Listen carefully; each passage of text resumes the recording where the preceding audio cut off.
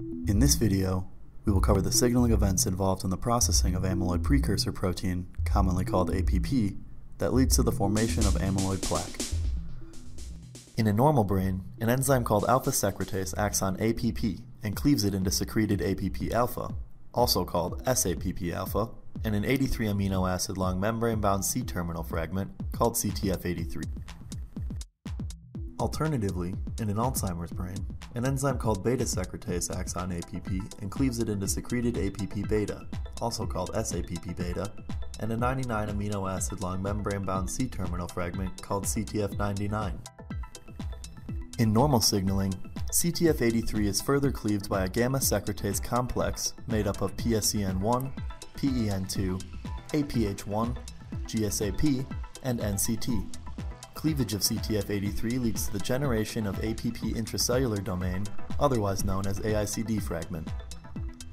AICD fragment then translocates to the nucleus, where it affects the transcriptional regulation of several proteins and drives neuroprotective pathways.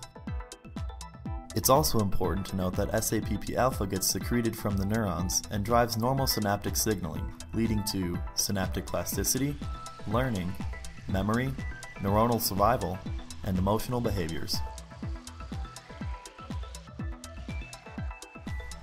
In Alzheimer's disease, gamma secretase complex again is assembled, but instead cleaves the CTF99 fragment into an AICD fragment and an A beta 4042 peptide.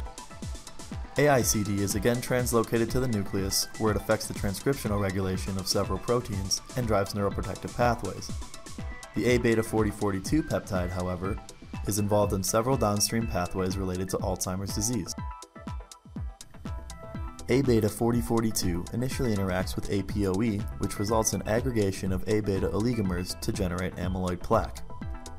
Amyloid plaque can be detected via immunohistochemistry staining using A beta 42 specific antibodies such as clone MOAB2. Downstream, A beta 4042 with APOE also interacts with MGLUR5, NMDAR, and alpha 7 NACHR, as well as leads to reactive oxygen species and oxidative damage. All of this results in blocked ion channels, disrupted calcium ion homeostasis, dysregulated energy glucose metabolism, mitochondrial oxidative stress, and neuronal apoptosis, which ultimately results in dementia or memory loss.